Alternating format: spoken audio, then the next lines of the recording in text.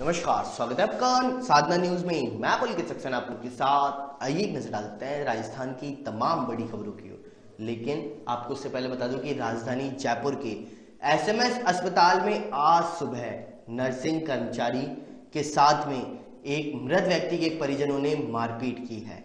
साथ ही साथ इसके बाद में कर्मचारियों ने कार्य का बहिष्कार भी कर दिया है। तो आइए एक नज़र डालते हैं पूरी रिपोर्ट की ओर। राजधानी जयपुर के एसएमएस अस्पताल के ट्रोमा सेंटर में नर्सिंग कर्मचारियों से हुई मारपीट के बाद में अस्पताल के तमाम नर्सिंग कर्मचारियों ने सोमवार को कार्य बहिष्कार कर दिया है।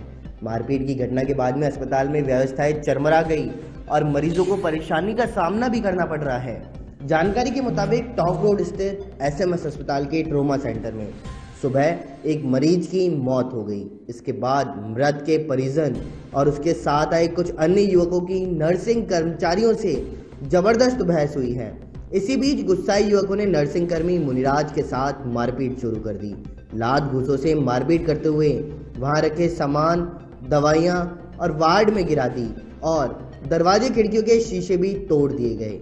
घटना के बाद जैसे तैसे कर वहाँ मौजूद अन्य नर्सिंग कर्मचारियों और सुरक्षा गार्डों के बीच में बचाव किया गया। इस दौरान नर्सिंग कर्मी के काफ़ी चोटें भी देखने को मिली हैं और यह घटना के बाद में आक्रोशित नर्सिंग कर्मचारियों ने कार्य का बहिष्कार कर दिया।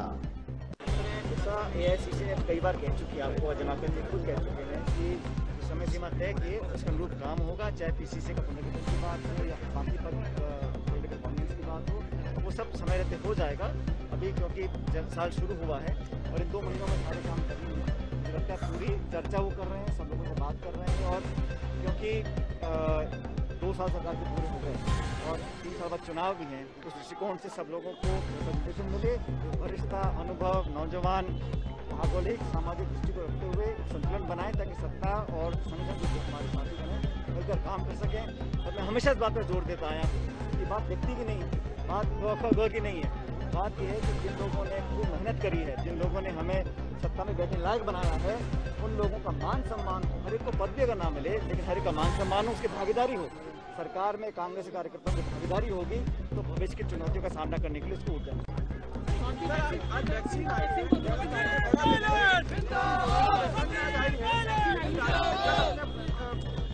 हमारे धक्का मत चाहता हूँ, लेकिन मैं चाहता हूँ कि देश को सुरक्षित रखने के लिए जो हमारे फ्रंट लाइन वर्कर्स हैं हेल्थ वर्कर्स हैं डॉक्टर्स हैं, जिन्होंने बड़ी मेहनत करी है और साइंटिस्ट जिन्होंने इतने कम समय में वैक्सीन को लाकर जनता के बीच रखने का काम किया है, वो राष्ट्रीय संपत्ति है, उसका राष्ट्रीयकरण नहीं करना चाहिए और इस बुरे दौर में हम सबको एकजुटता से काम करना चाहिए।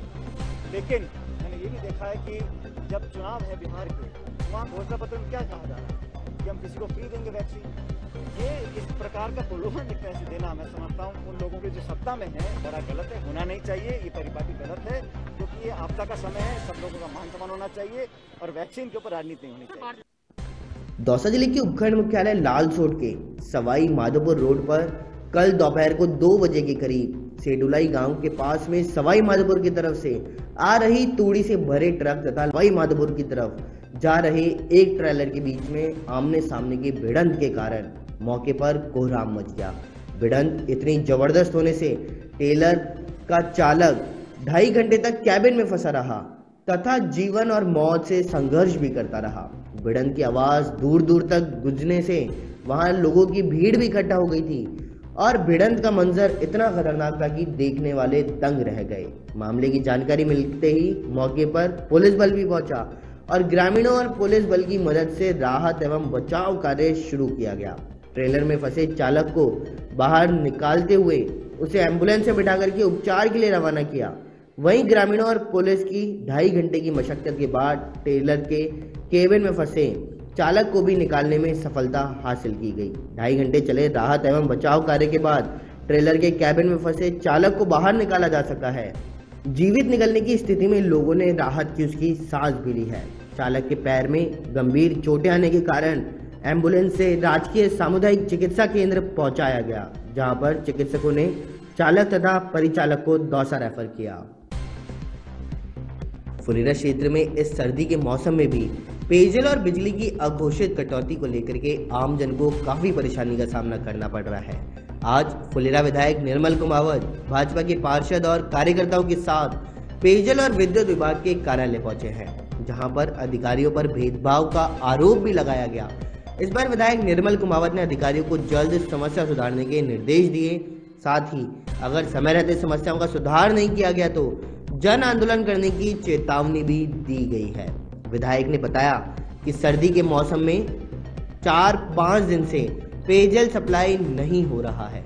साथ ही बिजली की अघोषित कटौती भी हो रही है, जिससे आमजन बुरी तरह से परेशान है। विधानसभा क्षेत्र का ये दुर्भाग्य है कि भरी सर्दियों में फुलेरा शहरी नहीं, आज सांबर की भी न्यूज़ लगी है, आप लोगों ने देखी होगी। ग्रामीण एरिया में पाँच पाँच, सात सात दिन से पानी पीने का मिल रहा है। पिछली सरकार में डेली तो नहीं मिलता था, मगर एक दिन छोड़ के एक दिन सुचारू व्यवस्था थी। दुर्भाग्य से वर्तमान में एक डेढ़ साल में पूरी व्यवस्था चरमरा गई है और मजबूरन भारतीय जनता पार्टी के पार्षदों को सड़क पर निकलने की मजबूरी आ चुकी है। हमने आज हमारी मांग जयन महोदय को रखी है कि आप अपनी व्यवस्था ठीक करें हैंडपम्पों को ठीक करें, बिना किसी भेदभाव के काम करें। अन्यथा भारतीय जनता पार्टी इसको जन आंदोलन के रूप में लेगी। हम लोग थक चुके हैं, विपक्ष की भूमिका निभाते हम भी थक चुके हैं कि हमारी कोई सुनवाई नहीं हो रही जनता की।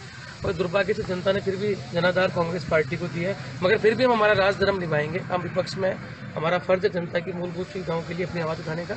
इसी चरण में पानी को लेकर अब हम लोग हम पूरा आंदोलन करने की तैयारी में नए साल पर रविवार रात को सीएम अशोक गहलोत के आवास पर कांग्रेस और उसके समर्थक विधायकों की डिनर के साथ बैठक आयोजित की गई। बैठक में सीएम अशोक गहलोत ने विधायकों को देश बचाओ, किसान बचाओ अभियान को सफल बनाने का टास्क दिया। डिनर, डिप्लोमेसी के इस कार्यक्रम में विधायकों को फ़ील्ड में जाकर के कृषि कानूनों की खामियाँ बताने को कहा गया। इसके साथ ही विधायकों को इस दौरान जनता की नब्ज टटोलने की नसीहत भी दी गई। पीसीसी चीफ गोविंद सिंह डोटासरा ने विधायकों से अभियान को सफल बनाने की अपील भी की है। पूरे मारवाड़ में सोमवार को कोहरे की परत छाई रही है। पूरे दिन के साथ कोहरा कम हो गया, लेकिन वहीं ग्रामीण क्षेत्र में घना कोहरा छाया रहा है। हालाँकि न्यूनतम तापमान 2.5 डिग्री बढ़कर के 12.7 डिग्री तक पहुँचने के बाद सर्दी से कुछ राहत अवश्य मिली है। लेकिन सर्द हवा अभी भी गलन पैदा कर रही है। कोहरे के कारण सूरज की तपिश भी मध्यम पड़ गई। मौसम विभाग के अनुसार अरब सागर की तरफ़ से बढ़ रही नमी से यहाँ कोहरा छा रहा और एक दो दिन में हल्के बादल भी छा सकते हैं। पूर्वी राजस्थान से बने ऊपरी हवाओं के चक्रवात से अब सागर की तरफ़, अरब सागर की तरफ़ से नमी राजस्थान की तरफ़ बढ़ रही है। साथ ही साथ ज़्यादा असर पूर्वी राजस्थान में पश्चिमी मध्य प्रदेश की तरफ़ होने से उन क्षेत्रों में बारिश व बूंदाबांदी की संभावनाएँ भी थी और यहाँ कम दबाव के क्षेत्र का असर कम होने से यहाँ केवल नमी पहुँची है। राजस्थान में कोरोना वायरस संक्रमण के 502 नए मामले रविवार को सामने आए हैं। इससे अब तक राज्य में संक्रमितों की कुल संख्या तीन लाख नौ हज़ार आठ सौ इक्कीस हो गई है। वहीं राज्य में संक्रमण से पाँच और लोगों की मौत हो गई, जिससे राज्य में संक्रमण से कुल मरने वालों की संख्या 2710 तक पहुँच गई है। अधिकारियों ने बताया कि रविवार शाम छह बजे तक बीते 24 घंटे में राज्य में कोरोना वायरस संक्रमण से पाँच और मौतें हुई, जिससे मरने वालों की संख्या अब बढ़कर के 2710 तक हो गई है। राज्य में अब तक जयपुर में 504, जोधपुर में दो अजमेर में 219, बीकानेर में एक सौ छियासठ कोटा में एक सौ छियासठ भरतपुर में 120, उदयपुर में 111, पाली में 109 और सीकर में अठानवे संक्रमितों की मौत हो चुकी है। प्रदेश में कौ की मौत का सिलसिला लगातार जारी है। रविवार को जयपुर समेत चार जिलों में 135 कौओं ने दम तोड़ा है। अब तक करीब 250 से ज़्यादा कौ की मौत भी हो चुकी है। आशंका जताई जा रही है कि बर्ड फ्लू के कारण ये मौतें हो रही हैं। पिछले 24 घंटे के अंदर हनुमानगढ़ में अट्ठासी झालावाड़ में तेरह बारह में बारह, जयपुर और जोधपुर में सात सात व पाली और बीकानेर में चार चार कौ की मौतें हुई हैं।